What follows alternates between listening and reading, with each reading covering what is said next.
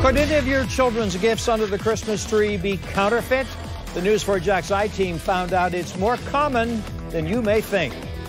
Federal agents have already busted millions of dollars worth of fake clothing, jewelry, and electronics. Only on News 4 Jax, I-Team investigator Vic Micolucci teamed up with local customs and border protection officers to show you the most commonly duplicated gifts this year. Vic? Enjoy it is easier now than ever before for people to sell these counterfeit items because you can buy them and sell them on Craigslist, Marcus lists, all these other important online e-commerce sites. And it's coming through the mail, but federal agents are doing their best to stop it from going out to the From pricey Chanel and Louis Vuitton handbags to sought after Samsung phones and $1,500 Gucci sweatpants. These come with big markdowns. If the price is too good to be true, it probably is.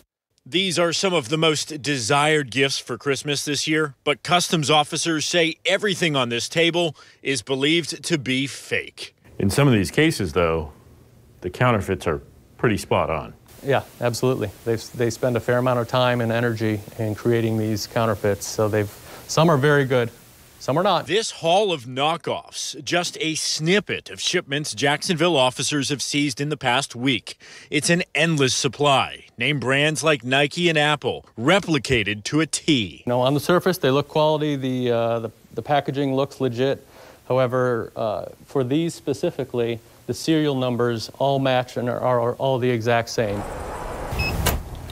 U.S. Customs and Border Protection officers showing us what they deal with on a daily basis, taking us to their top secret warehouse on Jacksonville's north side. This is where they keep watch on what comes in by air and sea. Federal officers have been doing this for decades, seizing billions of dollars of fake goods, but they say now they're busier than ever because of the COVID 19 pandemic. More people are shopping online, and that means there's more room for counterfeit items to sneak into the U.S. Supervisor David Dilland says they still find drugs, but phony merchandise is much more common. It comes mainly from China, but all over the globe. And for those that say, ah, there's no harm in that. The money that is going to the counterfeiters um, is typically that we found through uh, through investigations is, is for criminal enterprise. Officers reminding buyers cutting corners comes with a cost.